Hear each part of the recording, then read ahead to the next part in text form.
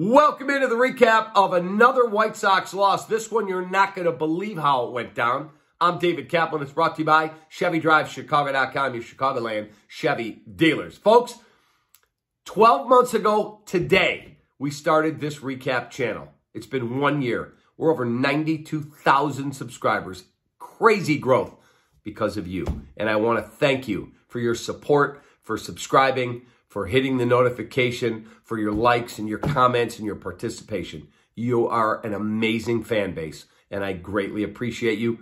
Bigger and better things to come here on the Recap channel. Okay, here's what happened in the game. Saturday night, maybe you're out to dinner with your family, your wife, or you're out having some fun. Maybe you're at work. The White Sox had a 3 0 lead going to the seventh inning. 3 0. And Lance Lynn had a no hitter. He took the mound in the seventh with a no hitter. The Rays scored 10 runs in the inning.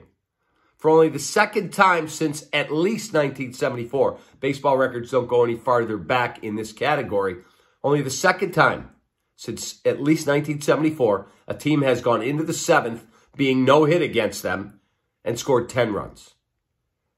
It is literally surreal what we're watching. I've never seen anything like it. I'm not one who believes teams should fire someone just to fire someone, but something's got to change.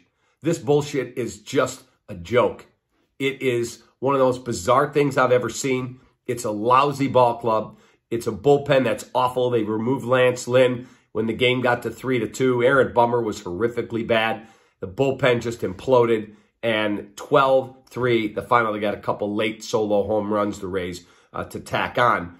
The White Sox only got three runs, but what we're watching is a joke. And then the first at bat for Luis Robert, he hit a ground ball. If he hustles, he beats it out, or it's close. He jogged all the way to first base. Steve Stone said, Does it look like he's grimacing? Maybe he's hurt. He's removed from the game. No injury status is announced. They just say he was removed. Manager's decision is what the media is being told.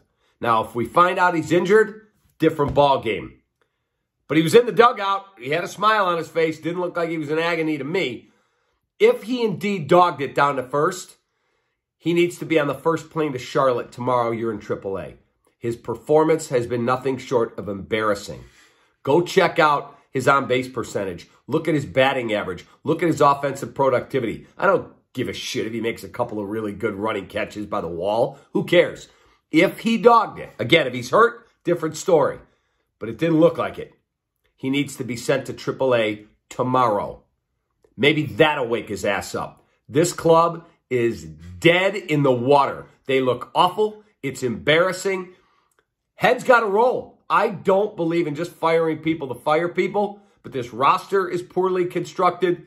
The vibe around the whole club is awful, and the White Sox lose 12 3 after taking a no hitter behind Lance Lynn into the top of the seventh inning. Have a great rest of your night. I appreciate you greatly.